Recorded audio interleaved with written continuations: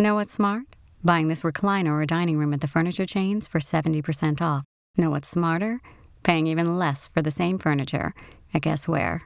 Smith Village, legendary Smith Village, the furniture chain's worst nightmare.